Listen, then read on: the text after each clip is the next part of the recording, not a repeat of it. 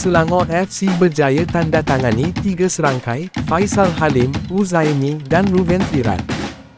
Menerusi perkongsian wartawan Sukan Zulhelmi Zainal, Azam menyatakan bahawa pihak pengurusan Selangor FC telah berjaya menandatangani tiga pemain yang diwar-warkan sebelum iaitu Faisal Halim, Uzaimi dan juga Vic, Ruben Firan.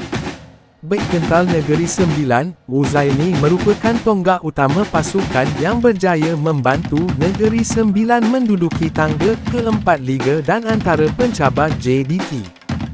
Pemain sayap lincah Terengganu, Faisal Halim juga berjaya membantu Terengganu menduduki tangga kedua Liga lantas berjaya ke pentas Asia tahun hadapan.